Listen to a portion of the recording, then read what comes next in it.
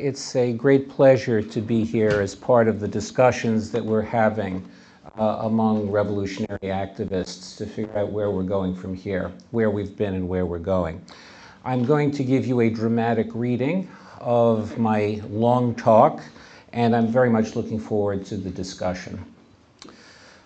In the first portion of these remarks, I want to explain, first of all, why Leninism is worth talking about, not only for understanding some of what happened in history, but also for helping to change the world in the here and now of the early 21st century. I want to explain what I mean by the term Leninism, then touch on several historical controversies that may shed light on how to make use of this tradition in our ongoing political work. In the second portion of my remarks, I will offer thoughts on ways to apply and contribute to the Leninist tradition in our practical efforts for the coming period. In this particular period of radicalization and ferment, as activists are engaged in sorting through their own experiences, gathering more information about the realities related to those experiences, and engaging with the ideas and examples of revolutionaries who preceded us. A serious engagement with the Leninist tradition will be unavoidable. This is not because this long dead revolutionary can tell us all we need to know about building an organization, a movement, and a set of struggles capable of making a revolution.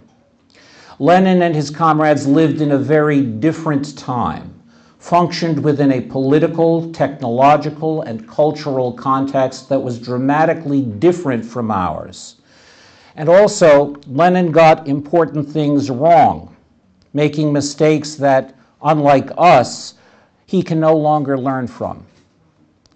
Serious engagement with Leninism is unavoidable for serious activists because Lenin and his comrades developed an incredibly rich body of thought and experience as they faced the oppression and destructiveness and violence of capitalism. And this thought and experience had a powerful impact for a time in helping the workers and the oppressed to win important victories. Capitalism continues to exist. The working class continues to exist. Various forms of capitalist oppression and destructiveness and violence continue to exist. That is really what the Occupy movement, the Arab Spring, the anti-austerity rebellions, and other insurgencies of our time, including right now in Turkey, are all about. So it makes sense to consider what the Leninist tradition may offer. It has become common among some on the left to contrast Lenin's own thinking uh, to what uh, has come to be known as Leninism. And I want to spend a few minutes on why I don't accept that, that division. Of course, there's more than one version of Leninism. In Joseph Stalin's influential 1924 classic, The Foundations of Leninism, we are told that Leninism, here's a quote, Leninism is Marxism in the era of imperialism and the proletarian revolution, which means if you wish to be a genuine Marxist, you cannot question, but only embrace Lenin's ideas. This totalistic formulation is worth contrasting with the quite different formulations of three other prominent comrades of Lenin, Nikolai Bukharin, Gregory Zinoviev, and Leon Trotsky. In his valuable biography of Stalin, Robert C. Tucker indicates that Bukharin and Zinoviev refer to Leninism as Lenin's retrieval of Marx's revolutionary orientation in one case, or his application of Marx's ideas to Russian realities.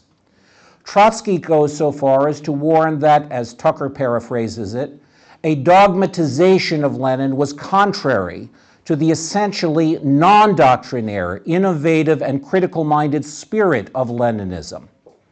In contrast, Stalin's Leninism is Marxism formulation presents Lenin's thought as the one true Marxism which could not be questioned. His 1924 booklet provides a condensed systematization that was a catechism in uh, catechistic in style and authoritarian in tone, as Tucker aptly notes.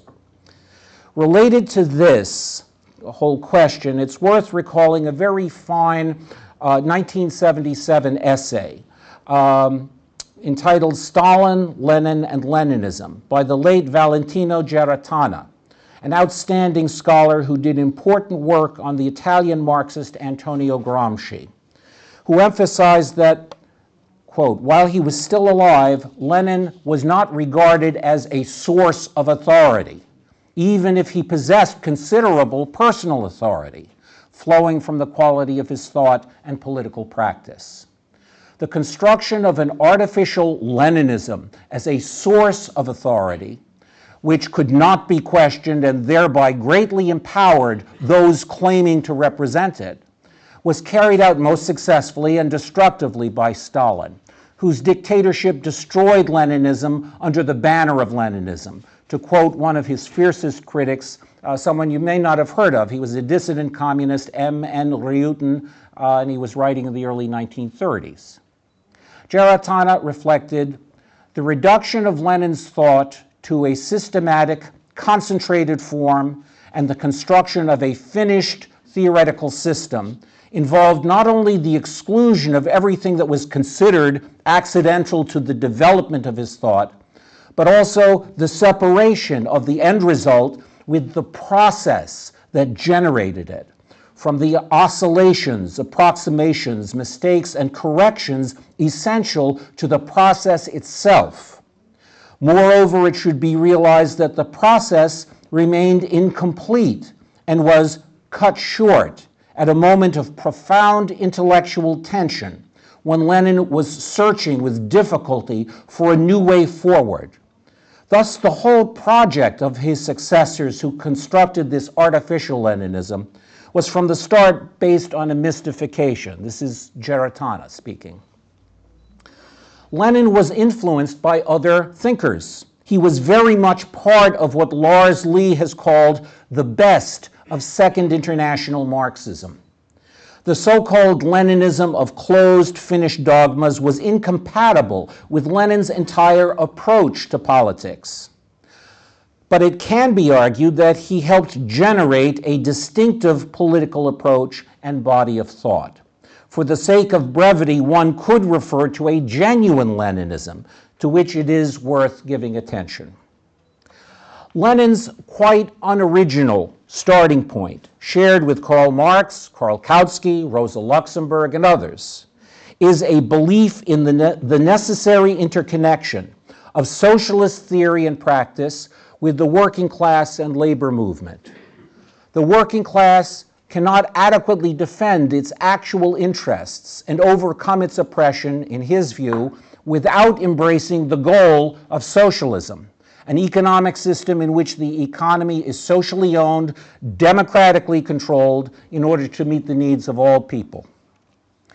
This fundamental orientation is the basis for most of what Lenin has to say that is, socialism and the working class coming together. That's the basis for most of what he has to say. And taken together, that constitutes the Leninism of Lenin. The scope of his political thought is something I attempted to convey in my collection of his writings that was referred to Revolution, Democracy, Socialism.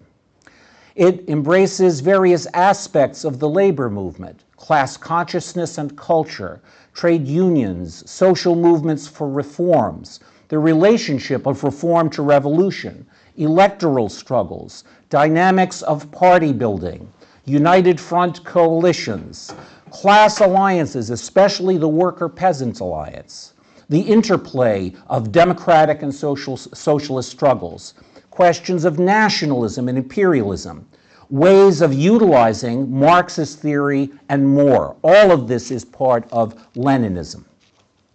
At certain points, Lenin's utilization of Marxism was different from some of what passed for Marxism among a majority of the world's socialists by 1919, when the Communist International was formed. What distinguished Lenin's Bolsheviks from many others is a refusal to make certain compromises either with capitalist politicians or labor bureaucracies, and a determination to follow through to the end the implications of the revolutionary Marxist orientation as expressed in Lenin's writings. This suggests that there was a decisive element of difference when all was said and done between the kind of party that Karl Kautsky was a member of in Germany, the Social Democratic Party, and the kind of party that Lenin and his comrades were actually building in Russia. At the same time, as Neil Harding, Lars Lih, August Nimtz, and others have emphasized, Lenin's thought can most fruitfully be understood in continuity with that of Marx. As the German reformist socialist Edward Bernstein once said to philosopher Sidney Hook, Do you know, Marx had a strong Bolshevik streak. Another key point is that Lenin's ideas and practical political efforts cannot adequately be comprehended outside of the context of his comrades and co thinkers. It goes against the grain of Lenin's own method and against what actually happened in history to present Lenin not as one among a diverse collection of capable comrades, but as the one authoritative representative of true Marxism. While one can make a strong case that Lenin was the first among equals, it is quite simply wrong to be dismissive of his comrades as a collection of yes men and yes women or as an inadequate bunch who never, never measured up.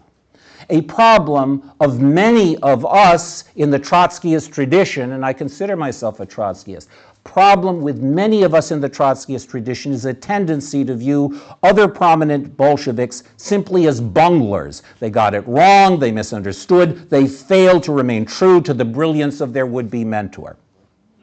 To think that a revolution can really be understood in that way, and to think that an effective revolutionary organization can be built according to such a model, is highly problematical. Two of the favorite whipping boys for those wishing to elevate Lenin above his followers are Gregory Zinoviev and Lev Kamenev.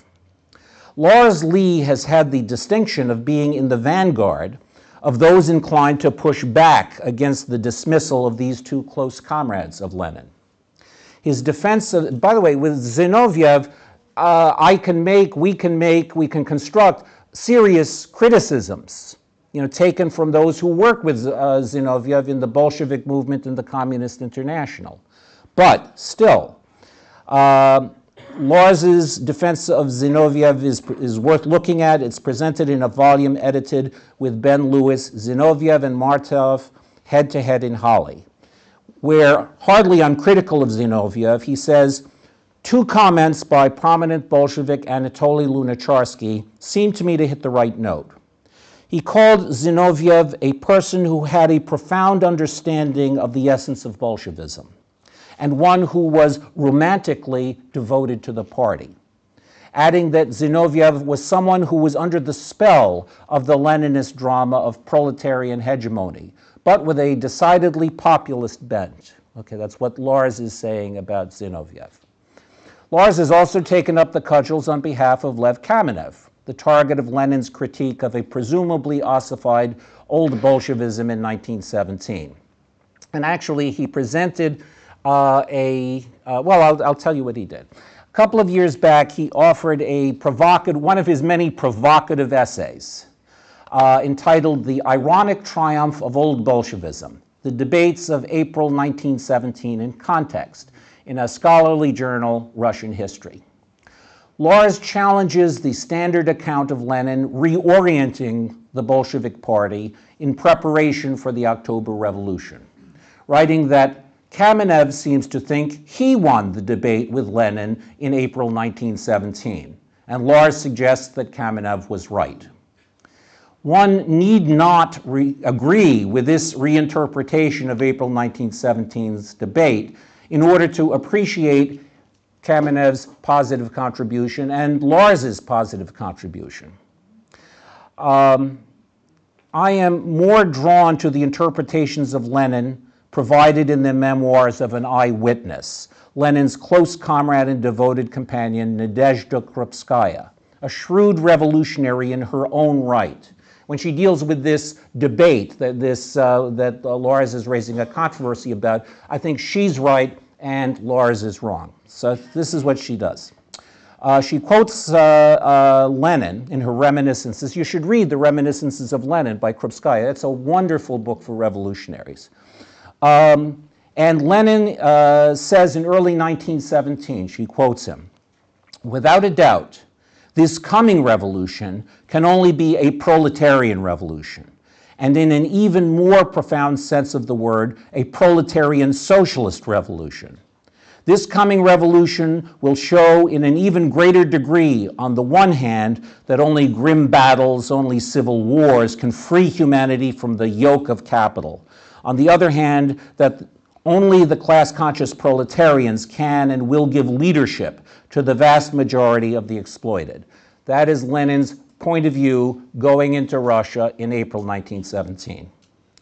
Krupskaya described the presentation of the April theses that he gave in this way. Lenin expounded his views as to what had to be done in a number of theses. In these theses, he weighed the situation and clearly set forth the aims that had to be striven for and the ways that had to be followed to attain them, like in the quote that I just uh, that she uh, provides. The comrades were somewhat taken aback for the moment. Many of them thought that Ilyich was presenting the case in too blunt a manner and that it was too early yet to speak of a socialist revolution. She notes that Lenin's theses were published in the Bolshevik paper Pravda, followed by a polemic from Kamenev in which he disassociated himself from these theses. Kamenev's article stated that they were the expression of Lenin's personal views, which neither Pravda nor the Bureau of the Central Committee shared. It was not these theses of Lenin's that the Bolshevik de delegates had accepted, but those of the Central Committee Bureau, Kamenev alleged. Krupskaya concluded a struggle started within the Bolshevik organization. It did not last long. Within a week, Lenin's position was upheld by the Bolshevik majority. This account is similar to what one finds in the accounts of other eyewitnesses. The Mensheviks, Nikolai Sukhanov and Raphael Abramovich, the Menshevik turned Bolshevik, Alexandra Kollontai, and the Bolshevik turned Menshevik, W.S. Voitinsky. There was a lot of fluidity in the revolutionary movement back then. There are three extremely important facts that emerge, however, in Lars Lih's account, even if you don't agree with part of the thrust of what he's saying. First of all, Lenin did not feel bound by some rigid notion of democratic centralism to refrain from expressing his own views if they happened to be in contradiction to those of the formal leadership of the Revolutionary Party to which he belonged. For Lenin, revolutionary principles always trump, always trump organizational harmony. And this was an essential element to his conception of democratic centralism and revolutionary organization. Second, an open debate between comrades in the pages of the party newspaper was by no means alien to the Leninism of the early Bolsheviks.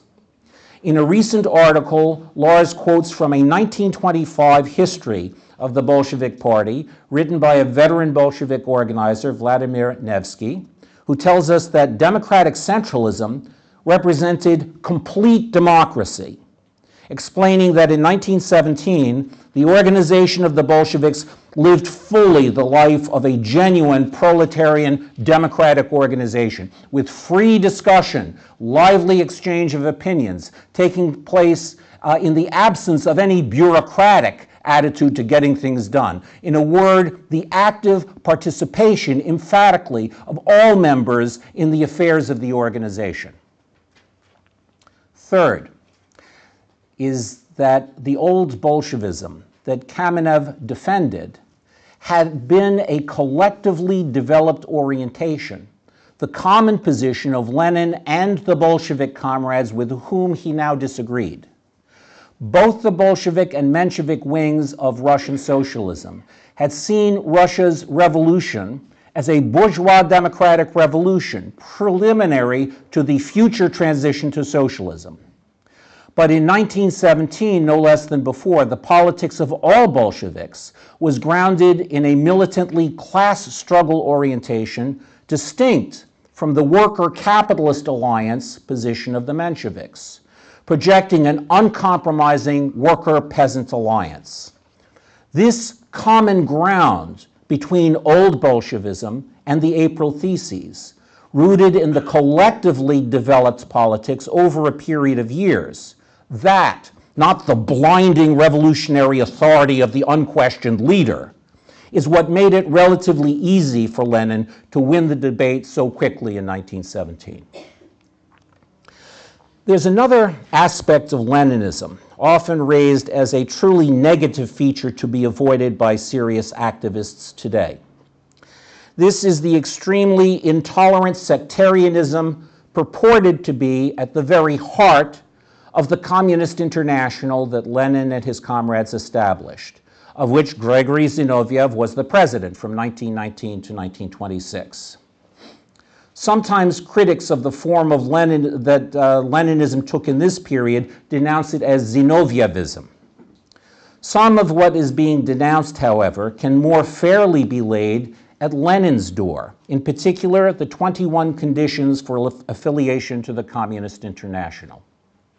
Adopted at the 1920 Second Congress of the Comintern, this document began with an important explanation.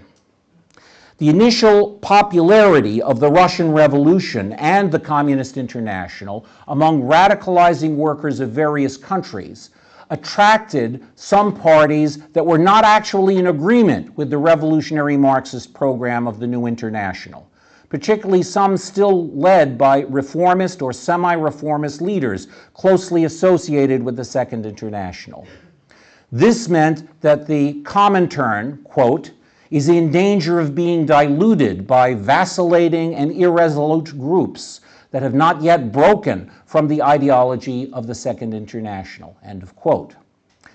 This ideology had led to a general capitulation to the imperialist slaughter of World War I and the suppression of revolutionaries within the various organizations.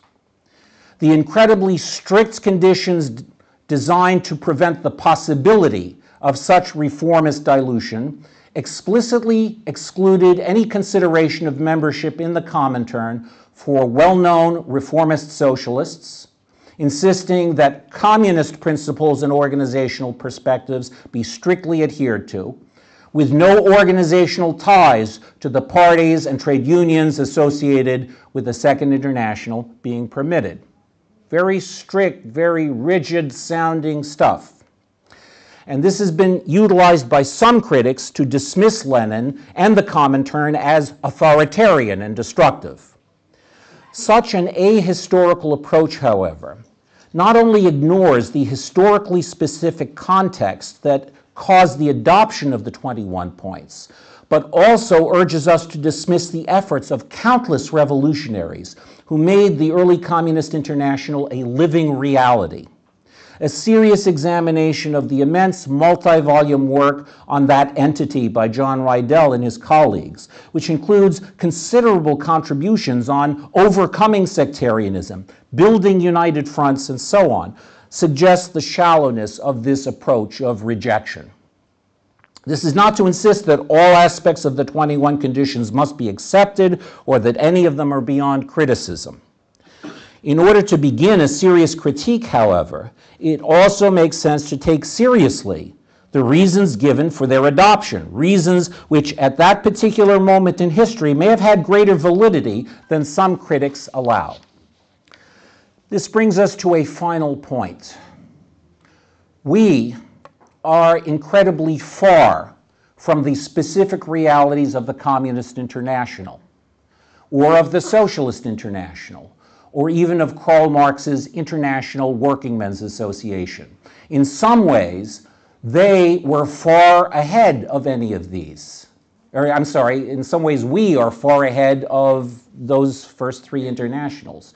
But in important ways, socialists from these first three workers' internationals were far in advance of us. There is much to learn from the Leninist tradition but one must use it critically and creatively to make sense in our own political context and time period. And that, what I've just said, happens to be central to the method of Lenin. I'll now turn, I've been talking history here, mapping out some history, what actually happened in history. And some of it may be useful for us, but I want to concentrate now in the second half of my remarks on uh, thoughts as to how we can utilize and contribute to the Leninist tradition as we struggle for socialism in the 21st century. I gave a presentation about as long as this one uh, in London last year on my thoughts regarding what I think it will take to engage fruitfully in the process of building a revolutionary party in the United States. What I said then still makes sense to me, but one of the comrades there made an excellent criticism. My comments involved an immersion in the specific realities in the United States. And I still think that what we do in the United States must be grounded in local actualities and national specifics that we're part of. The same is true for you in Australia. But she pointed out that the international dimension was largely missing from what I had to say, and I had to agree with her that this was a serious weakness. There were references to opposing war and imperialism, but that was about it. For serious Marxists, however, internationalism has always involved more than that. And it has involved much more than simply rhetorical solidarity with the struggles of workers and oppressed of all lands.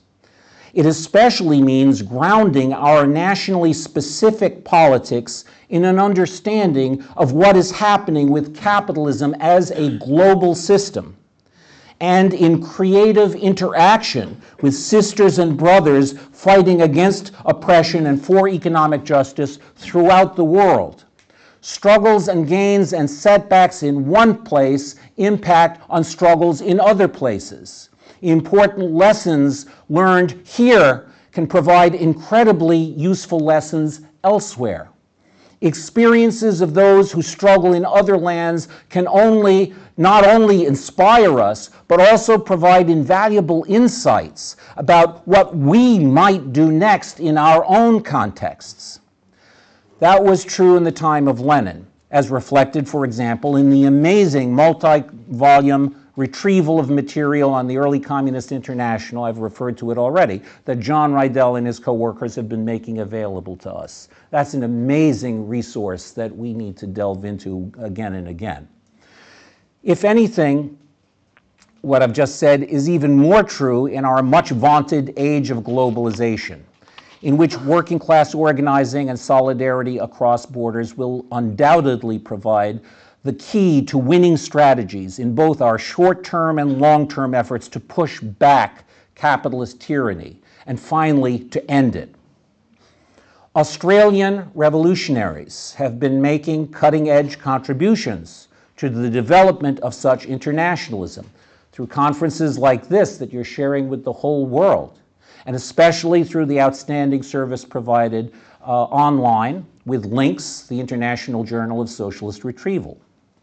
The World Social Forum, at least in its earlier years, was also part of this global radicalization process. Vital contributions have also come from the dramatic proliferation of worldwide information sharing and communication through the internet. Serious revolutionary groups in all countries, it seems to me, need to find ways to advance such virtual and face-to-face engagement to strengthen the cooperative process of advancing our interrelated liberation struggles. Revolutionary internationalism must be more than a slogan. It should involve a collaboration and activities that are part of our efforts in each country. Many revolutionaries are faced with the challenge of how small socialist groups can give way to mass socialist parties and movements. Have you ever considered that yourselves? no? no? Uh, you should think about it, comrades. Give it some thought. A number of us have concluded that it is a fatal mistake for a small group to see itself as the nucleus or embryo of a mass revolutionary party. Such a party will in fact be made up through the coming together of elements from a number of groups, as well as a number of people not presently in any group, and even more who do not presently think of themselves as socialists at all. It will crystallize through innumerable experiences and struggles, blending together with a broad labor radical subculture of ideas, discussions, and creative activities. The creation of a genuine revolutionary party consistent with Lenin's own orientation can only come about on the basis of a substantial portion of a broad class conscious vanguard layer of the working class. One of our primary jobs as revolutionary socialists is to do all that we can through mass struggles, through socialist education, through working with others to contribute to the crystallization of such a vanguard layer, a layer that will be the basis of the Revolutionary Party. It is obviously important for existing small groups of socialists to work together as much as they can to advance this process, a process that will cause them to go out of existence by merging into the larger revolutionary party to be. Sometimes it's hard to do that, to work to put yourself out of existence, but that's what we've got to do.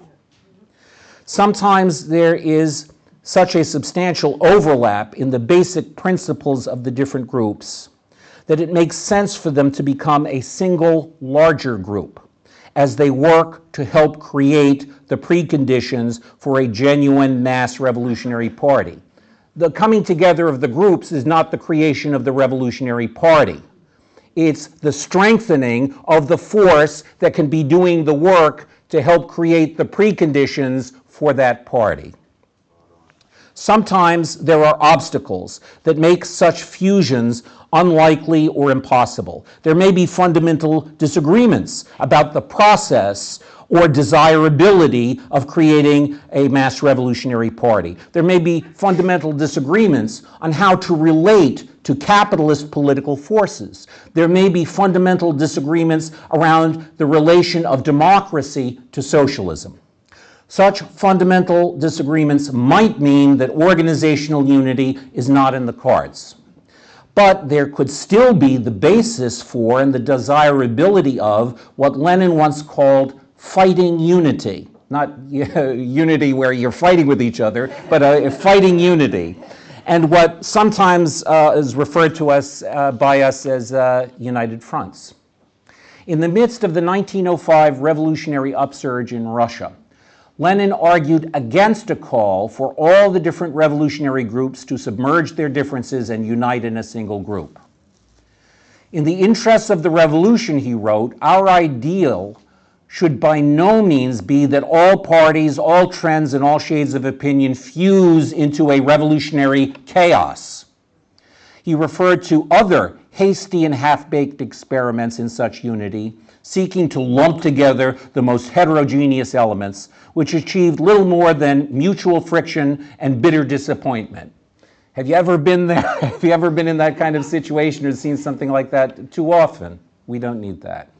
On the other hand, if diverse groups focus on how to advance a specific struggle around democratic rights or economic justice, agreeing to disagree on points of difference while cooperating to achieve a meaningful, immediate aim, much can be achieved as long as fundamental differences exist, Lenin insisted, we shall inevitably have to march separately, but we can strike together more than once, and particularly now amid the revolutionary insurgency. History also shows us that the, uh, to the extent that practical experience eliminates fundamental differences, it becomes possible for different forces to come together into a single organization with very positive results. This was the case at certain points in revolutionary Russia and in many other instances. It appears that circumstances in Australia today may be contributing to some groups going beyond simply a fighting unity toward the achievement of an organizational unity that could greatly strengthen the efforts of revolutionary socialists. This experience, this possibility, it's very exciting. It is being watched and it will provide invaluable lessons for revolutionaries not only here but in other countries. Related to this, it is worth noting another essential element in Lenin's methodology the way he combined an insistence on the clarity of basic principles, those of revolutionary Marxism, with what might be called a principled flexibility. A number of people, including severe critics among the Mensheviks who knew him well, were struck by his extreme disinclination to make a show of his own knowledge and by his deep desire to learn from others, especially fellow revolutionary activists, workers, peasants. He understood that one must be able to listen and learn from those who one hopes to teach, and that the development of knowledge is interactive and collective. He even learned from political opponents. I mean, I'm not talking about political opponents within the socialist movement. He learned from uh, the British liberal J.A. Hobson, who powerfully influenced his book on imperialism, The Highest Stage of Capitalism. He learned from anarchists who influenced his classic, The State and Revolution. He learned from the populists of the Socialist Revolutionary Party. They influenced him enough to cause him to steal their agrarian program of land to the peasants. And during the revolutionary upsurge of 1905, he scolded some Bolshevik comrades who were more drawn to revolutionary rhetoric than to practical worker struggles, saying, direct quote, take a lesson from the Mensheviks for Christ's sakes. In more than one way, Lenin's theoretical approach was not a closed system, but rather what can be called an open Marxism. He called it a guide to action, emphasizing that reality is always much more complex, vibrant, and multicolored than theory can ever be, and that theory must continually be developed and renewed through the engagement with actual political struggle and experience. That is the kind of Marxism we need in order to comprehend the rapidly evolving capitalism of our time and the multifaceted and fluid realities of working class life and experience. This involves the dramatic shifts and fluctuations in regard to working class occupations and the labor process. The proletarianization of large swaths of the labor force not traditionally perceived as working class. It involves the interplay of class with ethnicity, race, gender, religion, culture, and more.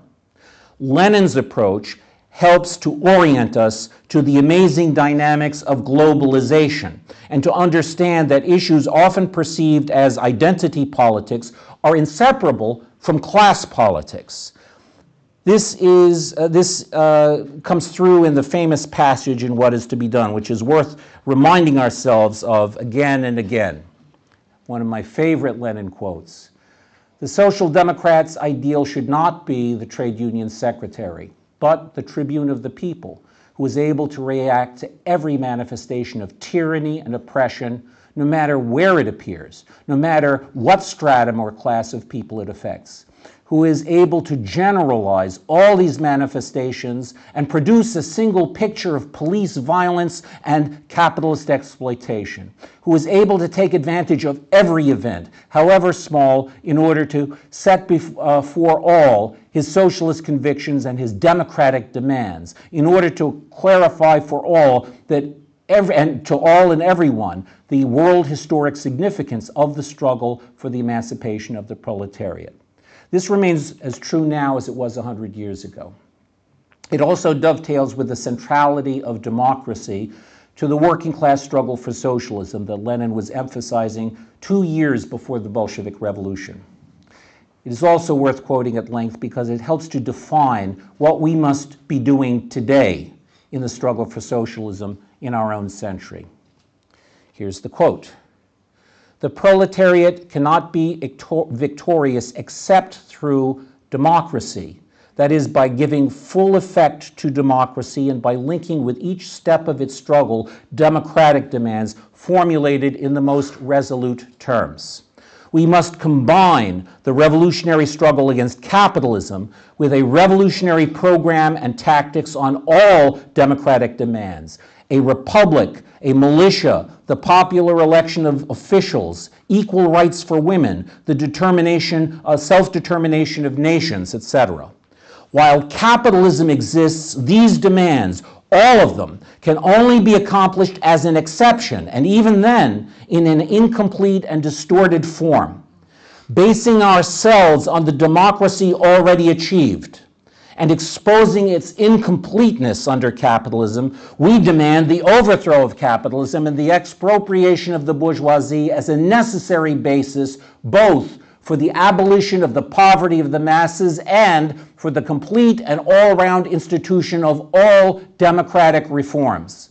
Some of these reforms will be started before the overthrow of the bourgeoisie, and in the course of that overthrow, and still others after it, the social revolution is not a single battle, but a period covering a series of battles over all sorts of problems of economic and democratic reform, which are consummated only by the expropriation of the bourgeoisie. It is for the sake of this final aim that we must formulate every one of our democratic demands in a consistently revolutionary way. It is quite conceivable that the workers of some particular country will overthrow the bourgeoisie before even a single fundamental democratic reform has been fully achieved. It is, however, quite inconceivable that the proletariat as an historical class will be able to defeat the bourgeoisie unless it is prepared for that by being educated in the spirit of the most consistent and resolutely revolutionary democracy. That's the Lenin quote. The centrality of democracy in the struggle for socialism applies not only in the social and political struggles within society, but also in the internal structure and practice of the socialist organization itself.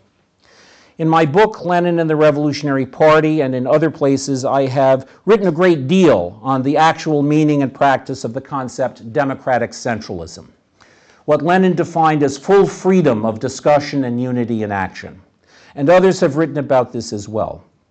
It has been documented that the Bolshevik organization had a considerable degree of internal democracy. We've already noted here how this changed dramatically under the rule of Joseph Stalin. That was a disastrous development, largely rooted in the devastation and isolation of Soviet Russia in the midst of the Civil War years combined with the extreme economic backwardness and poverty of the Russian economy. This resulted in what were supposed to be emergency measures that in fact became permanent, which eliminated any genuine democracy in the Soviet Union and also eliminated genuine internal democracy in all communist parties controlled by the Stalin leadership. What we have found, even among all too many anti-Stalinist organizations committed to revolutionary socialism are, in the name of Leninism and democratic centralism, practices that cut across the possibility of the kind of internal democracy that seems to have existed historically in Lenin's organization. Such internal democracy is one feature that made it possible for the Bolsheviks to be the kind of revolutionary force that triumphed in 1917. One of the reasons for the disappointing absence of that kind of democracy in some, many, relatively small socialist groups in later years may have to do with a flaw in their self-conception. Some function more or less as sects, creating their own political universe that involves a self-conception that they constitute the revolutionary vanguard or the politically correct nucleus around which such a vanguard must form. The hope for the future is often seen as preserving the authority and ideological purity of one's precious organization. This can engender ideological and organizational rigidities, which distort the way that democratic centralism, particularly full freedom of discussion, might be understood and practiced. If our self-conception is that we do not yet have a revolutionary party, not even in embryo, and that our purpose is to create the preconditions that might make the emergence of such a party possible. This could encourage a different kind of internal practice, in some ways matching the way we would be dealing with those outside of our own group. A primary goal would be to generate more and more thought, experience, and creativity among one's comrades and others, as activists who are working together to bring into being a force that can successfully challenge capitalism. There are indications, in fact, that such an extended pre-party process, even in underground conditions, existed through the 1890s and the early 1900s among Marxist-oriented revolutionaries, creating a subculture which nurtured a genuine internal democracy as the Russian Social Democratic Labor Party and its Bolshevik faction finally took shape. One of the revolutionaries in the making from that time, a woman named Eugenia, Eugenia Levitskaya, later reminisced, turning over in my mind the mass of comrades with whom I had occasion to meet, I cannot recall a single reprehensible, contemptible act, a single deception or lie. There was friction. There were factional differences of opinion, but no more than that. Somehow everyone looked after himself morally, became better and more gentle in that friendly family. This sense of things can be found in a different context many years later, when the veteran revolutionary James P. Cannon commented, the true art of being a socialist consists in anticipating the socialist future, in not waiting for its actual realization, but in striving here and now, insofar as the circumstances of class society permit, to live like a socialist, to live under capitalism according to the higher standards of a socialist future. A vibrant elaboration of this comradely subculture among Russian revolutionaries comes through in Maxim Gorky's novel uh, of 1906, Mother. A central figure in this subculture, Lenin, wrote in What is to be Done about the organizational ideal of 1902 as a close and compact body of comrades in which complete mutual confidence prevails. Even amid the fierce polemical controversies among Russian communists in 1920, Lenin quoted Trotsky, with whom he was then in sharp disagreement, that ideological struggle within the party does not mean mutual ostracism, but mutual influence. It's the kind of discussion I heard this morning, frankly. One of the most important elements in this subculture, I think, should be an inclusiveness that persistently and insistently works to overcome in the revolutionary organization the divisive oppressions of racism, sexism, heterosexism, and other destructive dynamics blighting human relationships in the larger society. At times, this may generate painful tensions and conflicts. Scrupulously democratic process combined with considerable thoughtfulness and sensitivity will be needed to help maintain balance and cohesion as the organization works frankly and seriously toward fruitful results. Such a general subculture contributes to the realization of a primary task for any worth, any revolutionary organization worth its salt. The development of durable cadres. I heard it pronounced as cadres by some of you, or something like that. I pronounce it cadres. Uh, by this term cadre, or however you want to pronounce it, I am referring to experienced activists, educated in political theory, analytically oriented, with practical organizational skills, who are able to attract new and train new members of the revolutionary organization, and also to contribute to expanding efforts in broader movements for social change. This means knowing something of the history of the class struggle and of broad liberation struggles, knowing the economic and political realities of our society, knowing how to size up a situation, knowing how to interact with others to help communicate that knowledge to them, knowing how to organize meetings and political actions. Such qualities need to be developed among increasing numbers of people. The proliferation of durable cadres is essential for all the life giving struggles leading up to the possibility of socialist revolution. Lenin's thought, as Marxist philosopher George Lukács emphasized nine decades back, was influenced by a sense of the actuality of revolution which would be essential in establishing, as Lukács put it, firm guidelines for all questions on the daily agenda, whether they were political or economic, involved theory or tactics, agitation uh, or uh, organization. That is to say, Lenin was concerned in all his political thinking and activity with the question of what would it take, actually, to take power? What would it take to take power? Not rhetorically, not theoretically, but in fact, and then to do exactly that. Our purpose as revolutionary socialists is not simply to persuade people that socialism could be so much better than capitalism. Our purpose is not simply to protest and organize protests against capitalist injustice. Our purpose is not simply to organize struggles to bring about improvements under capitalism. And we should be doing all of this, but that is not, that is not the purpose. Our purpose is not simply to interpret history and current events or anything else from a revolutionary uh, socialist standpoint. Instead, our primary purpose is to overturn existing power relations and to put political power into the hands of the working class majority. That is our primary purpose. Everything else should be working to bring that about, that actuality of revolution. I want to conclude with two, uh, I want to conclude, you ready for me to conclude? Boy, I am, I'm thirsty, I want some water here.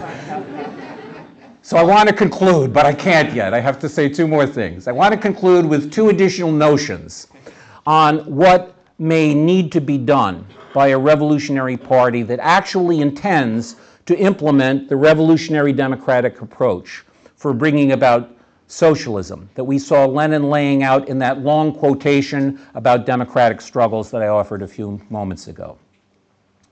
One notion has to do with ways that practical struggles in the here and now can be integrated into a strategy for the working class to take power.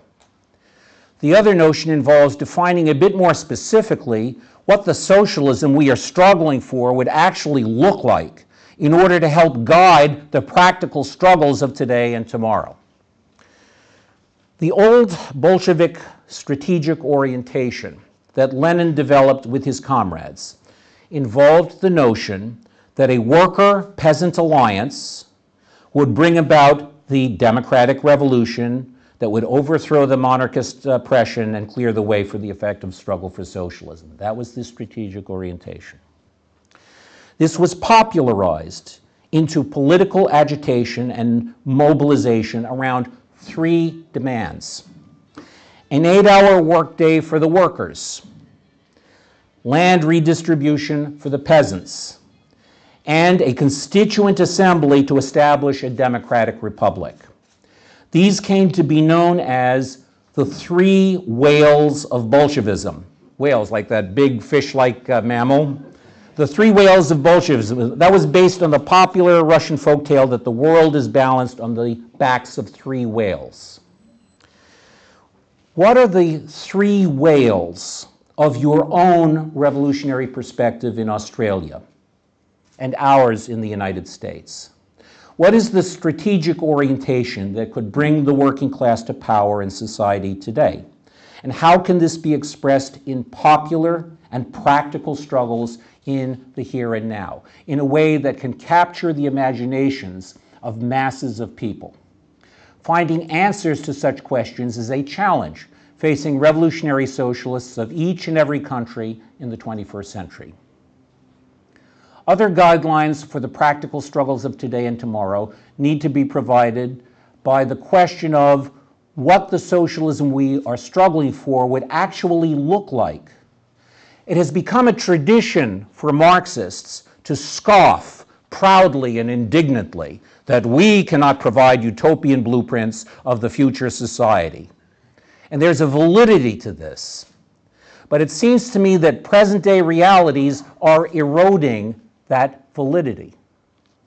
For decades, we have been treated to the spectacle of parties claiming to be socialist, coming to power, or at least being voted into office, and then, in contradiction to their stated goals, carrying out so called realistic policies designed to salvage and maintain one or another version of actually existing capitalism. In some cases, this is combined with implementing welfare state social reforms. In other cases, it is combined with slashing previously implemented welfare state reforms. Do we intend to do better than that? Yeah, hell yeah. if so, we need to figure out how and be able to explain that to those whose mass support will be needed to make it so. And then that has to be integrated into our strategy, that we're mobile, it has to be maybe integrated into our three whales. If there is an alternative to the present impasse of capitalism and to capitalism itself, we need to be able to say quite specifically what that would look like, with at least some key specifics, how it would be done.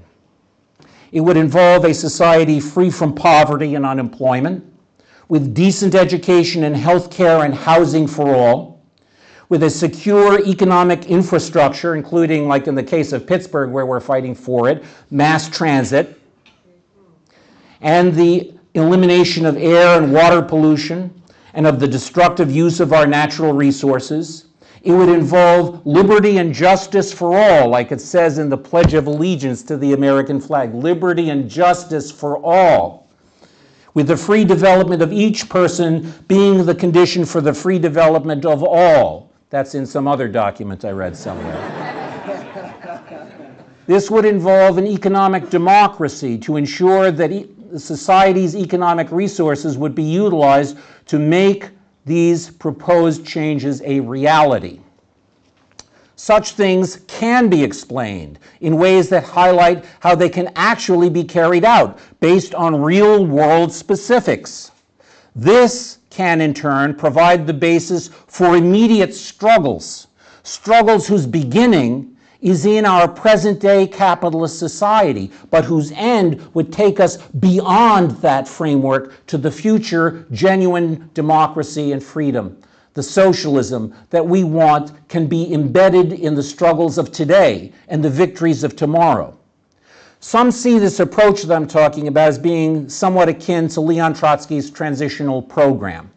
Although in the Communist Manifesto, Marx and Engels seem to have sketched a similar approach. They suggest, here's a quote, in the beginning, this cannot be effected except by means of despotic inroads in the rights of property and on the conditions of bourgeois production by means of measures, therefore, which appear economically insufficient and untenable, but which in the course of the movement outstrip themselves, necessitate further inroads upon the old social order, and are unavoidable as means of entirely revolutionizing the mode of production. That's okay as far as it goes. It's way too abstract. How does that get translated into our own reality? That's our responsibility to figure out and then do it.